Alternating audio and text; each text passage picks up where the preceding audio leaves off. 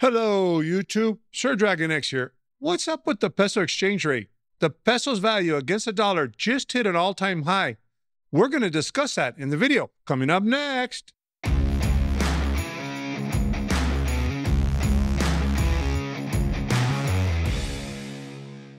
Hello, everyone. Welcome back to our channel. Today, we're going to talk about a significant shift in the global economy that's making headlines. The Mexican peso has strengthened against the US dollar, breaking below the 17 peso per dollar barrier on July 6 for the first time in over seven and a half years. This is a level not seen since December of 2015, and it's causing quite a stir in the financial world. But what does that mean for you, especially if you're a foreigner in Mexico?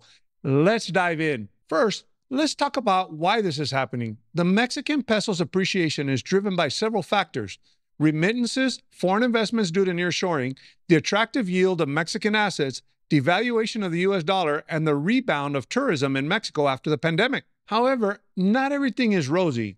Although this may sound like a good thing for Mexico, this stronger currency is impacting four pillars of the Mexican economy oil revenues, tourism, exports, and remittances, all dominated in dollars. This is squeezing the government's finances as well as those of common Mexican families, Foreigners are not the only ones being affected. Analysts have predicted that the peso could remain strong in the coming weeks, despite Mexico's central bank choosing to halt a nearly two year rate hike cycle.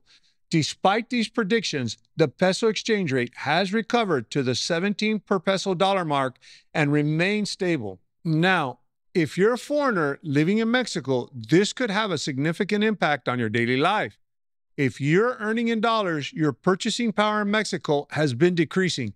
This means that the cost of living in Mexico in terms of dollars has just gone up. Everything from rent to groceries to entertainment could effectively become more expensive for you. However, it's important to note that despite the rising cost of living for those earning in dollars, living in Mexico remains more affordable compared to places like the United States and Canada. So, while you might be feeling the pinch, your money can still go further here than many other countries. So, what does the future hold? There's no telling.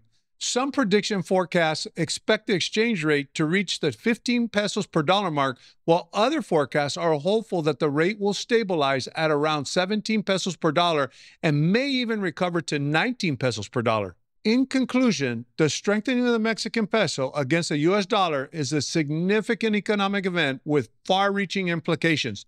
As always, it's essential to stay informed and make financial decisions that are best for your personal situation. This is truly a complex situation for both Mexican citizens as well as foreigners.